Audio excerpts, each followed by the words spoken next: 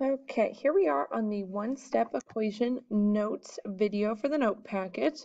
So you should be in your new packet that says Unit 3, Topic B on the front, and the page that says one-step equation, all operations. All right, so we're starting simple, baby steps here. Um, the biggest thing that you need to take note of is how I'm showing my work, because that's how I'm going to expect you to show your work as well. So I have b plus 9 equals negative 15. So I have a plus 9 and I the goal is I want to get the letter, the variable all by itself. So this guy here. So in order to get rid of the plus 9, I have to do the opposite, which is minus 9. I'm going to do that on both sides of the equal sign.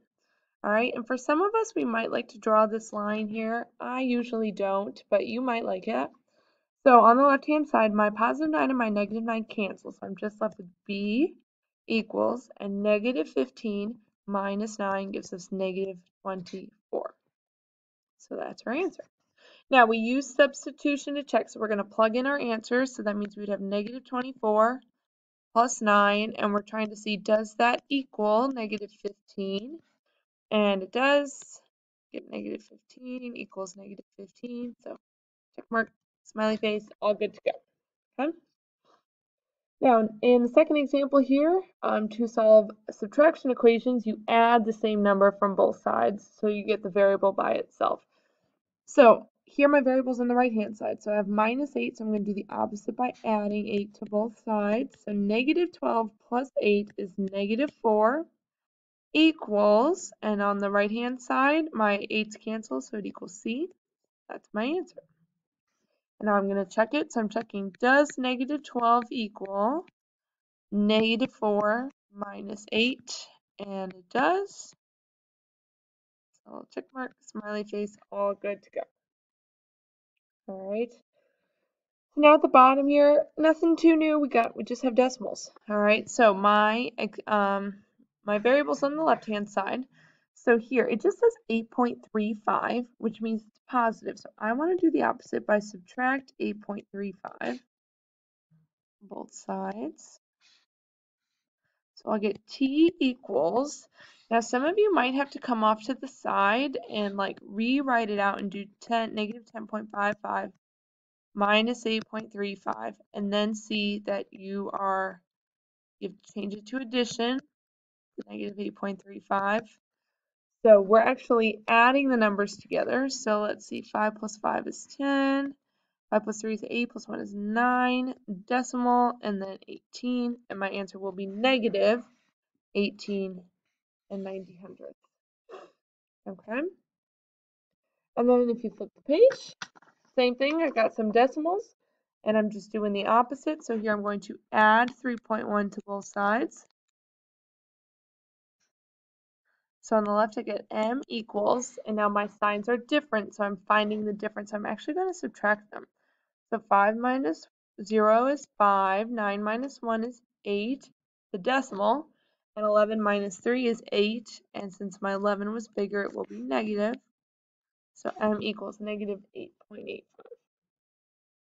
So those are the adding and subtracting ones, and then of course we also have multiplying and dividing.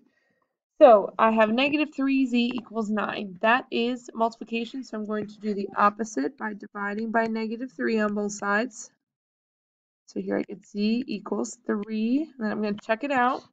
See, does 3 times negative 3 equal negative 9? Oops, an extra negative sign. And yes, it does. I get negative 9 equals negative 9. Check mark, smiley face, all good to go. Okay. In the next one here, I've got y divided by 4 equals negative 2. So the opposite of division would be multiplying. So I'm going to multiply both sides by 4. So how this works on the left, I'm going to rewrite this actually so we can see. So this is like 1 over 4y. So over here, I'm technically multiplying by 4 over 1. And the same thing over here. So everything on the left-hand side cancels. So I'm left with y equals, and then negative 2 times 4 is negative 8. Then, of course, I'm going to go in and check. So is negative 8 divided by 4 equal negative 2? And it does. So we are good to go here. So now at the bottom, um, solve and check your answer. So I have 3, negative 3m equals 21. So this is multiplication, so I'm going to do the opposite, which is dividing by negative 3. So I get m equals negative 7, and now I go in and check. Is negative 3 times negative 7 equal 21? And the answer is yes. Little check mark and smiley face. Okay. If you flip the page onto the last page here, um, part B, 78 equals negative n over 10. Here, we've got division, so we want to multiply by the entire negative 10. Okay, so we're going to do that on both sides. So negative 10 times 78 would be negative 780 equals n. Now, if you didn't multiply by negative 10, say we had just multiplied by positive 10, then I would have ended up with 780 equals negative n. So then this is like a negative 1n, so I would have to divide by negative 1 on both sides. So it just makes an extra step. So just go ahead and take that sign with you every time. And then we're going to skip part C. Now, number 2 here and number 3. Number 2 says, write a multiplication equation that has a solution of 12. Solution meaning the answer is 12. Okay, so that means like when I solve, I will get x equals 12 in the end. So we want multiplying. So we're going to have something times x equals something else. All right, so you're thinking, you know, well, first of all, how do I solve a multiplication equation? I'm going to end up dividing. So let's see. We know that uh, 12 goes into 24. So if I put a 2 here, different color, I would end up dividing by 2 on both sides. And that would give me x equals 12. Now, there's more than one option. Okay, but we want the answer to be 12. So now when we look at the second one here, where it says write a division equation that has a solution of 12. So answer is 12, and we want division. So we're doing x over something equals another number.